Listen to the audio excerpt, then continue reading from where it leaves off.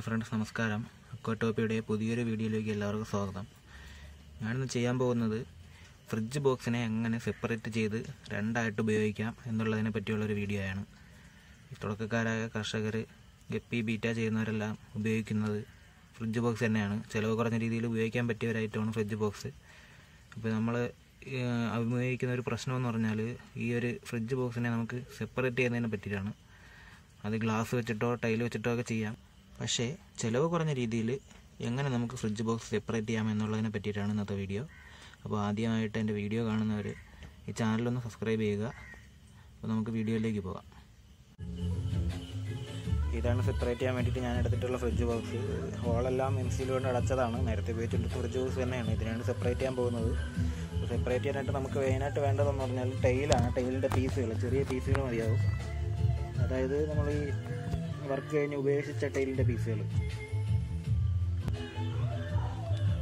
ഈ വീഡിയോയിൽ കാണുന്ന പോലെ നമ്മൾ ടൈലിന്റെ രണ്ട് പീസുകളാണ് എടുത്തിട്ടുള്ളത്. രണ്ട് പീസുകൾ എടുത്തതേപോലെ കറക്റ്റ് അളവിനുള്ള പീസുകൾ നോക്കി എടുക്കണം. രണ്ടോ മൂന്നോ പീസുകളായിട്ട് എടുത്തിട്ട് ഇതുപോലെ വെച്ച് കൊടുത്താൽ മതി. അതിനുശേഷം ഇത് നമ്മൾ സിലിക്കോൺ ഇട്ടാണ് ഒട്ടിക്കാൻ പോകുന്നത്. അപ്പോൾ ഇത് ഇത് ഇങ്ങനെ ഇളകി പോകാനായിട്ട് ചാൻസ് ഉണ്ട്. അതായത് രണ്ട് പീസ് ആയതുകൊണ്ട്. അപ്പോൾ ഇതിന് സപ്പോർട്ടിന് വേണ്ടിയിട്ട് രണ്ട് പീസുകളോടെ നമുക്ക് ഇങ്ങനെ വെച്ച് കൊടുക്കാം. ഇങ്ങനെ ഈ ഒരു രീതിയിൽ വെച്ച് കഴിഞ്ഞാൽ നല്ല സപ്പോർട്ടായിട്ടിരിക്കും ഇതിന്റെ ഇടയ്ക്ക് ഒരു ഗ്യാപ്പ് ഇട്ടിരുന്നാൽ മതി.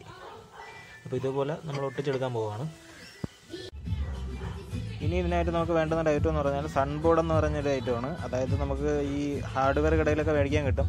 സൺബോർഡ് റൂഫിംഗ് ഷീറ്റ് എന്നൊക്കെ പറയും ഇതിനെ പ്ലാസ്റ്റിക് ആണ് സംഭവം. ഇത് മറ്റേ നമ്മുടെ അക്വരത്തിന്റെ ടോപ്പ് റൂഫ് ഉണ്ടാക്കുന്ന ഐറ്റമാണ് ഇത് നമുക്ക് കടയിൽ മേടിക്കാൻ കിട്ടും. അതല്ലാതെ നമുക്ക് ഈ പോസ്റ്റുകളിലേക്ക് പരസ്യത്തിന് വെച്ചേക്കും. അത് ഇളക്കിയെടുത്താലും മതിയാവും. അതാണെങ്കിൽ നമുക്ക് ചിലവില്ലാതെ കിട്ടുന്ന ഐറ്റമാണ് പിന്നെ ആക്രി കടയിലൊക്കെ വേസ്റ്റായിട്ട് കിട്ടുന്ന ഒരു ഐറ്റമാണിത് ഇതിപ്പോൾ ഞാൻ വാങ്ങിയതാണ്. ഇതിന് വെറും തുച്ഛമായിട്ടുള്ള വിലയേ ഉള്ളൂ. ഒരു നാലടി നീളം നാലടി വീതിയുള്ളൊരു ഷീറ്റിന് നൂറ്റി ഇരുപത് രൂപ മാത്രമേ വിലയുള്ളൂ. അതൊരെണ്ണം മേടിച്ച് കഴിഞ്ഞാൽ നമുക്ക് ഒരു പത്തിരുപത് ടാങ്കോളം ഉണ്ടാക്കാമെന്നാണ് എന്റെ ഒരു വിശ്വാസം.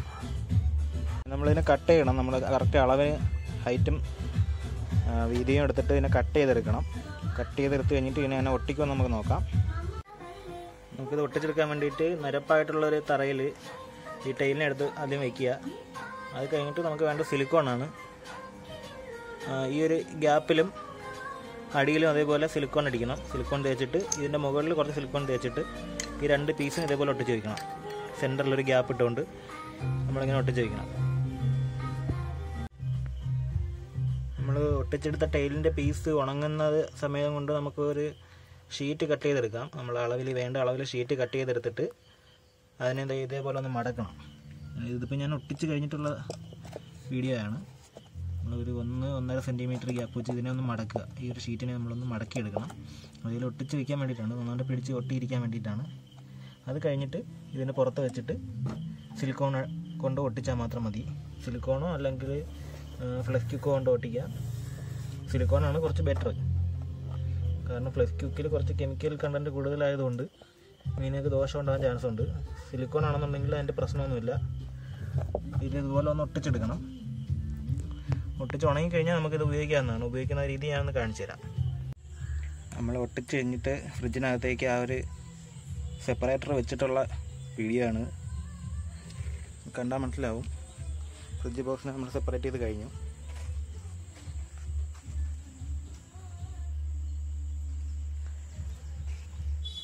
ഇതിലിപ്പോൾ അടിയിൽ എവിടെയെങ്കിലും ഗ്യാപ്പ് ഉണ്ടെന്ന് തോന്നുവാണെന്നുണ്ടെങ്കിൽ അവിടെ ഒന്ന് കുറച്ച് മണലിട്ട് കൊടുത്താൽ മതിയാവും.